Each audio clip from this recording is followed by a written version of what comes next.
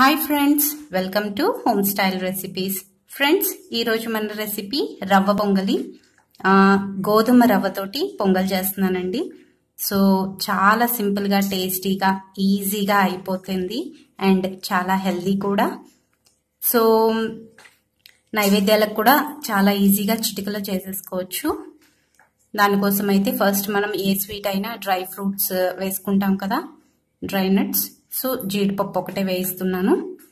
జీడిపప్పు కొంచెం వేయించుకుని నెయ్యిలో ఒక స్పూన్ నెయ్యి వేసుకున్నాను. జస్ట్ ఒక్క కప్పే చూపిస్తున్నానండి ఒక్క కప్పు గోధుమ రవ్వ తీసుకున్నాను. గోధుమ రవ్వ బన్సీ రవ్వ అంటారు. ఆ, రవ్వ తీసుకున్నాను. దీన్ని లో ఫ్లేమ్లో నిదానంగా మంచి స్మెల్ వచ్చే వరకు మంచి వాసన వచ్చే వరకు దాన్ని వేయించుకోవాలి. వేయించి తీసి పక్కన పెట్టుకొని ఇప్పుడు నేను పొంగల్ చేసుకోవడానికి పాలు తీసుకుంటున్నాను. మొత్తం ఒక కప్పు రవ్వకి నాలుగు కప్పులు పాలు పడతాయండి. ఇంకా పాలు నీళ్ళు కొలత మీ ఇష్టం. మీరు సగం సగం పాలు సగం నీళ్ళు తీసుకుంటారో మొత్తం పాలతో చేసుకుంటారో మీ ఇష్టం.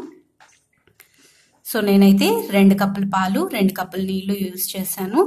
అవి కొంచెం పొంగు రాగానే ఈ వేయించుకున్న రవ్వని దాంట్లో వేసి కలిపేసేసుకుంటున్నాను. దీన్ని ఇలా సిమ్లో పెట్టేసి నిదానంగా ఉడకబెట్టుకుంటా ఉంటే చక్కగా మనకు ఆ గోధుమ రవ్వ అనేది బాగా మంచిగా ఉడుకుతుందండి. డెఫినెట్గా నాలుగు నుంచి ఐదు కప్పుల వరకు దీనికి నీళ్ళు పాలు పడతాయి.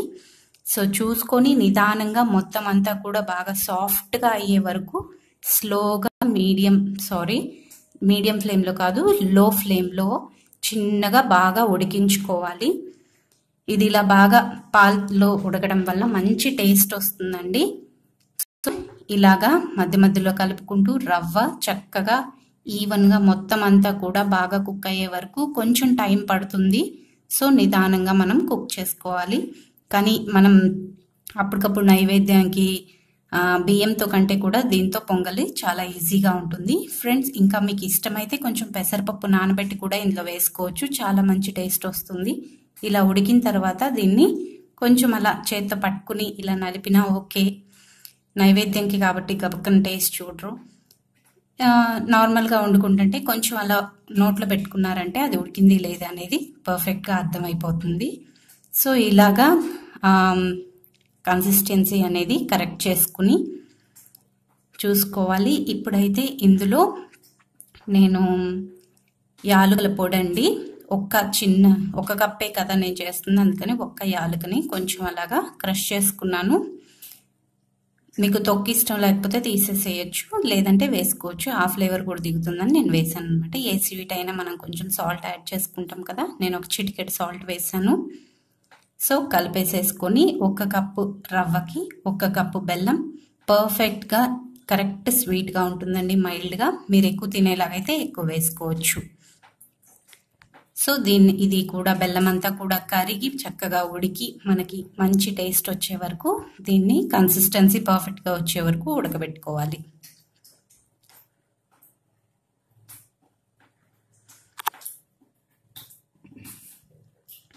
సో చూసారు కదా ఫ్రెండ్స్ ఇప్పుడు దగ్గర పడిపోయింది. అంతే ఫైనల్గా ఒక స్పూన్ నెయ్యి వేసి తిప్పుతున్నాను. మీరు కావాలంటే ఒక అరకప్పు వరకు కూడా నెయ్యి వేసుకోవచ్చు. చాలా మంచి టేస్ట్ వస్తుంది. అలాగే కన్సిస్టెన్సీ అనేది చాలా బాగుంటుంది. నైవేద్యాలకి నెయ్యే కదా చాలా బాగుంటుంది. సో ఇప్పుడు దీన్ని సర్వ్ చేసేసుకోవడమే.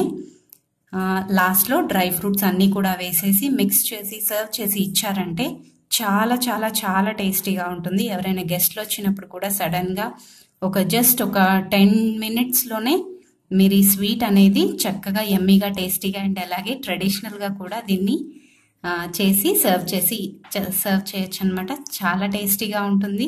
చాలా హెల్దీగా ఉంటుంది ఈవినింగ్ స్కూల్ నుంచి పిల్లల రాగానే కూడా చేసి పెడితే. గోధుమ రవ్వ పాలు బెల్లం అన్నీ కూడా మంచి పోషక విలువలు కలిగినవి. సో తప్పకుండా ఈ స్వీట్ రెసిపీని మీ ఇంట్లో ట్రై చేసి మీకు ఎలా కుదిరింది అనేది నాతో కమెంట్ సెక్షన్లో మీ ఫీడ్బ్యాక్ని షేర్ చేసుకోండి.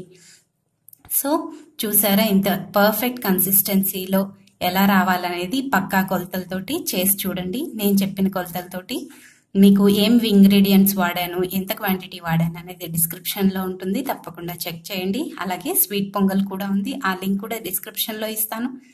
చెక్ చేసి ట్రై చేయండి. మీకు ఎలా కుదిరింది అనేది నాతో తప్పకుండా షేర్ చేసుకోండి. మర్చిపోకుండా. Thank you for watching